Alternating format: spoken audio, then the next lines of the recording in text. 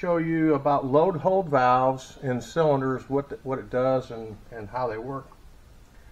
This particular cylinder uh, came off of a basket tilt and there's one right here and you can always tell because the hose instead of the hose going right into the cylinder it goes into another type of a mechanism.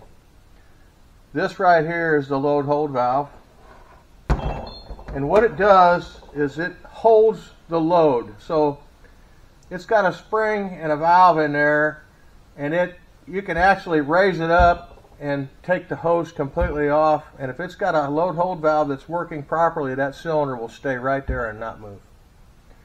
It's made for uh, man lifts, cranes, all different kinds of things where the manufacturer does not want that anything to happen. So what happens to them is they'll get something inside of them. There's also a series of O-rings in there and backup rings, and it's possible that one of them blowed out. It's possible it doesn't seat good, but if you ever get a cylinder that has a load hold valve and it creeps, figure out which direction it's creeping in, and then go find that load hold valve and take it out and look at it, take it apart, disassemble it, and make sure that the O-ring seals and everything is it looks normal because you'll probably find your problem. Little piece of debris gets stuck in one once in a while or uh, spring might break. Anything like that can happen to them. They're really nice to have if you're, especially if you're in a man lift and you're standing straight up and down and all of a sudden it was to blow a hose, imagine what would happen to you. That's why they're there. They're there for a reason. But to disassemble this cylinder, and take it apart, what I like to do is I just take the whole entire valve out, completely out. And that way it will, you know, like taking a hose off of a regular hydraulic cylinder where it can get air behind it on either end and then you can pull the rod out. With a load hold valve, that's not going to happen. You take the hose off, that's not going to happen. You have to take the valve completely out and then once it's out, then it will let air go into the cylinder so that you can disassemble the cylinder and take it apart. I was looking at it here this morning a little bit and I was going to show you something that it's hard to deal with uh, this particular cylinder. If you look right here, you'll see that on the head gland, it has two Allen set screws that go in and it sets against the thread to hold this head gland on. This one here, if you look at it, you'll see where it's damaged. It's going to be fun to get that out of there. And you'll also see that there's no spanner wrench holes. There's nothing in here other than the fact it looks like somebody had a big pipe wrench on it at one time and, and it's got some pipe wrench marks all over it where it was probably resealed at one time. But uh, when you get something like this, they can turn into a problem. What I'm going to try to do is I'm going to try to take a long tapered punch like this and set it down in here and try to knock that back where it belongs a little bit where I can hopefully get an Allen wrench in there and if not I'm hoping that I might start out with a smaller one and wobble it around in there until I get one to fit decent enough where I can get that out.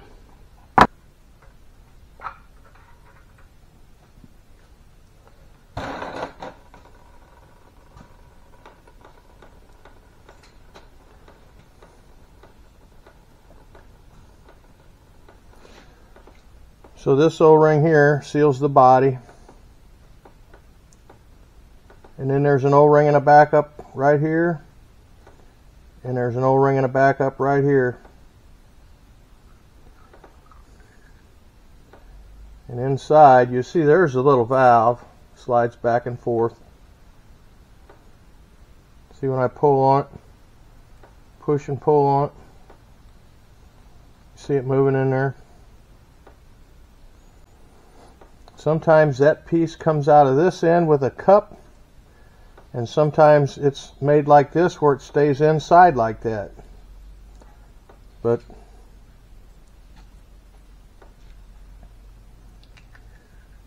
that spring tension on this is what makes it build enough pressure to override the spring tension to let the cylinder move in one direction or the other. But that's your load hold valve and what it looks like.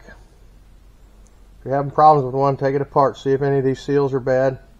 sometimes you just find something you can't see with your eyes. Anyhow, take these plugs out and let it get it draining the oil out of this cylinder. And we're going to disassemble it and pull it apart here. Both of them come right out once I got her straightened out a little bit with that punch. And there is no no uh, that wasn't so bad.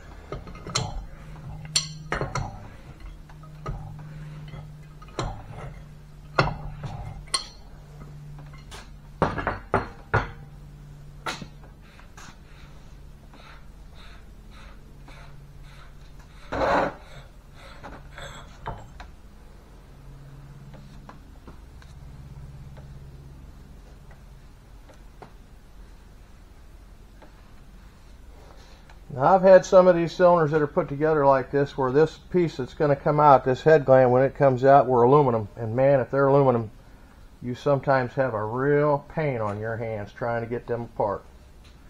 I'm hoping that I can just take this one and stretch it out enough and hit hit the piston against that head gland to knock it out. That's what I'm hoping for.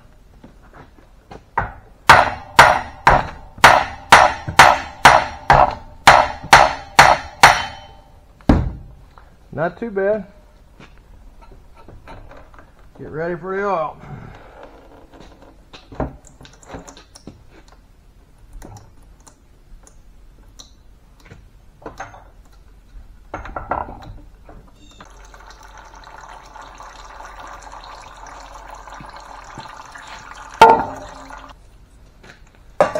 We're going to look down inside that barrel and see if we see any scarring or anything in there.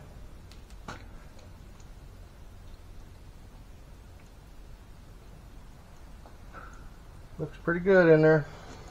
So I just pulled the cotter key out of this thing. There's a cotter key hole, goes right through the right through this uh, rod right there. One side was already broke off, and the other side, all I did was barely touch it and it broke off. Always use a new cotter key. If this cotter key would have broken off inside of this cylinder with this thing running and was in here dancing around, it would have scarred up and ruined the cylinder, from the inside out, it would have ruined it. And chances are it might even have went back to the valve body and screwed the valve body up. You don't know, but for what a cotter key costs, put in a new cotter key. Don't ever reuse a cotter key. Throw them away. Put in a new one. Self-locking. That wasn't bad. Pull that piston off of there. O-ring behind the piston See where it fits in that little groove right there. So you got two piston seals. O-ring in the groove. Head gland. Pull the head gland off.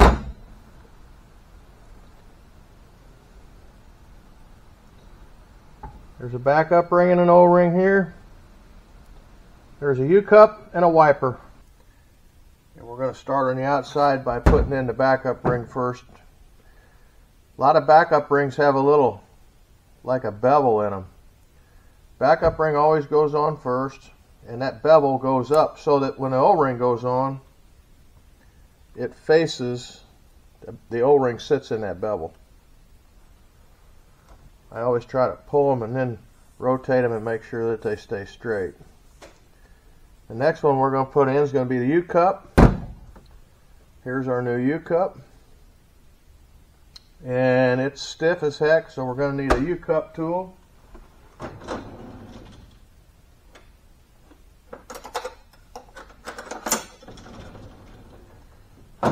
U-cup tool.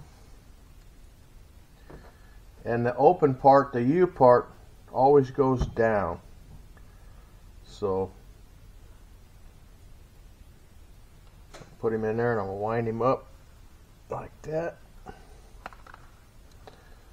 So once you get it all wound up, this is what it looks like. We're going to go right down in that groove and let it unwind. And it pops right in there. that is the handiest as pocket on shirt. Next we're going to put in is going to be our dust wiper. And it just sets in the groove. Just kind of bend it around and push it in there like that. So there's the head gland for that one. So we've lubed everything up. The head gland, the piston, all the O-rings, everything's all lubed up. Now all we got to do is put it back together again.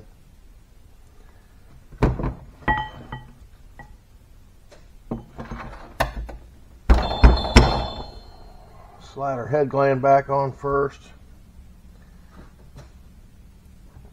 Our piston, our O-ring goes down next.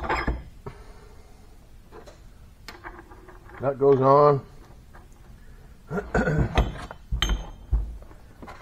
run her up with brand new cotter key. We Always remember to put a new cotter key in. It ain't worth what it cost not to have a cotter key in there, a new one.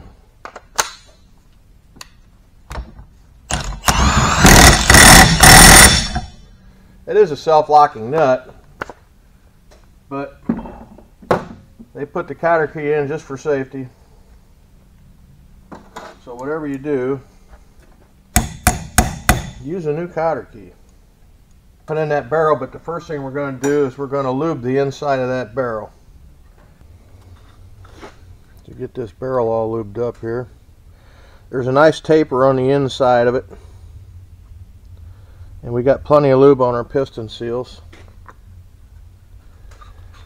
We also are going to remove the load hold valve so that when the piston goes in that the air that's displaced it's got a place to get out. So take the load hold valve and take it out of there.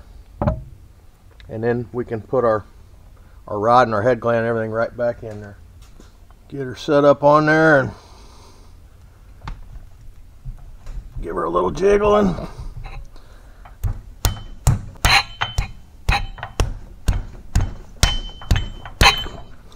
Then we'll slide our head gland in there.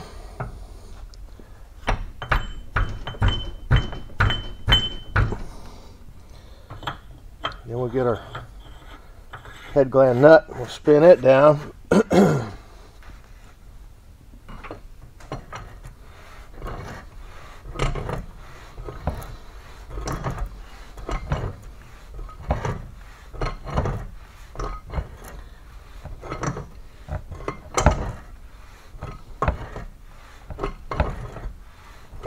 You remember we had two set screws, one that came out and one that we had to straighten to get it out.